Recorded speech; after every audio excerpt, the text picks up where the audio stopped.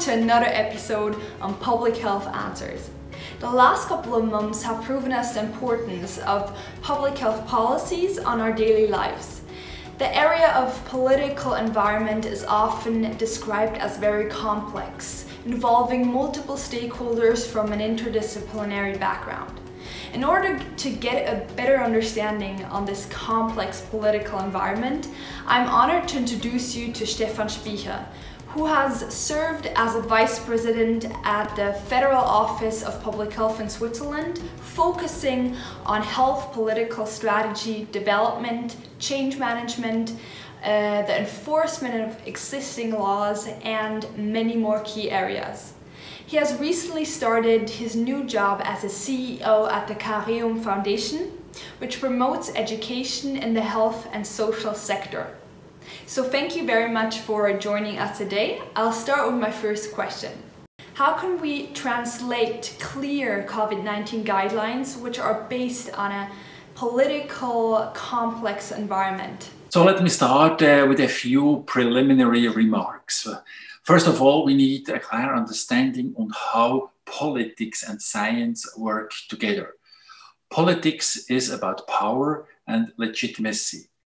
Power means that decisions can be made blindly, but also that they have to be made. It's not about recommendations, but about decisions, and politicians must take the responsibility for them. Not only technical and scientific arguments are considered, but also ideological issues. For example, the politicians have to judge if a solution is fair or not fair. Legitimacy, on the other hand, means that a large part of the population I would say about 75% or so, is able to comprehend and understand the decisions. Decisions uh, that are technically and scientifically correct, but not accepted by the population, will hardly be implemented in practice. There's a long tradition in uh, political science research in Switzerland that shows how difficult it is to implement decisions that have only a very narrow majority. This is even more a, problem in Switzerland than in other countries. We have a strong direct democratic tradition. This means that we vote on substantive issues at all political levels at least four times a year. In this tradition, it is, it is extremely difficult to implement decisions that do not have a broad support. Against this background, if we now want to implement guidelines in COVID-19 area, we need the following three conditions. First, a broad understanding and a broad agreement on the basic orientation of the guidelines. Second, simple, clear guidelines that are easy to apply in everyday life. I guess more is less is a good topic in this area. If it is clear that it's the third point from the guidelines that they are uh, that they also take in account more economic and societal perspectives, then this is certainly better for an acceptance than the other way around. Let me conclude by saying the following. It is also clear from what I have said that in a system like Switzerland, measures tend to become too late. It always takes a long time to reach a consensus. Unfortunately, it often takes time for the damage to be done before action can be taken. Or if you want to use a metaphor, the fire brigade is only called when the attic is already burning.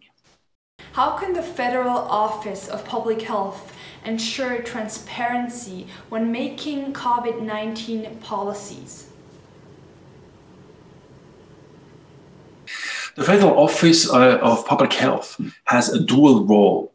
The first role, on the one hand, it prepares the decision of the government called Bundesrat in Switzerland Federal Council.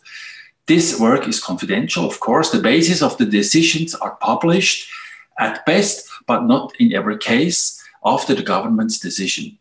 If the government deviates from the Federal Office of Public Health's recommendation, no transparency is established. This would weaken the position of the government. On the other hand, of course, the Federal Office of Public Health's task to, is also to direct inform the population and all interested parties so that they cannot that, that they can act correctly. Maximum transparency here is sought. With the COVID 19, there was an additional challenge in Switzerland.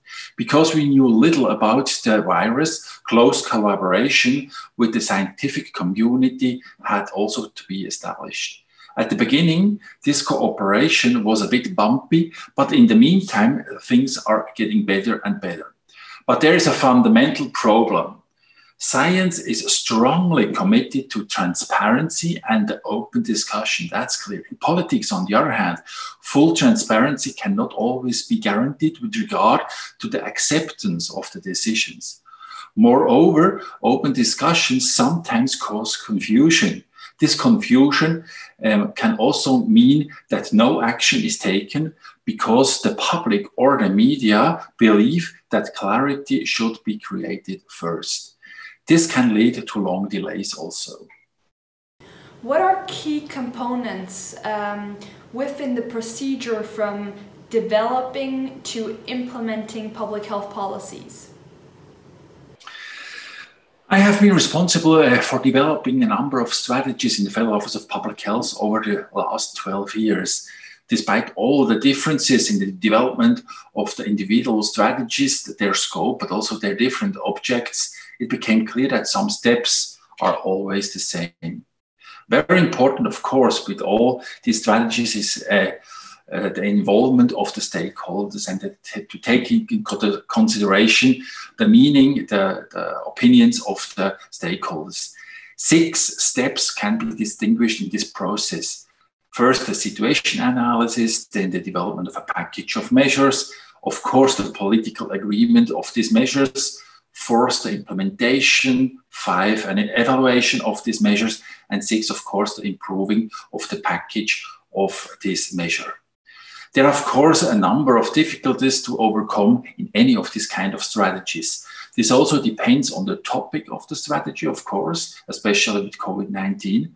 But what they all have in common is the challenge in finding a division of labor in Switzerland between the national and the local levels. The local level is called the cantons in Switzerland. The cantons have a great competence, have great competences in health policy. The federal government often only sets the framework. As a result, strategies have to be implemented jointly uh, confederation and cantons together, but with very different roles for the confederation and the cantons. The confederation is often the coordinator, the initiator, the mediator. The cantons have the role of the implementer, but also of the financier. Of course, this always leads to tensions between the confederations and the cantons. Thank you very much, Dr. Spycher, for elaborating on the complex political environment of Switzerland. We are honored that you're part of our program.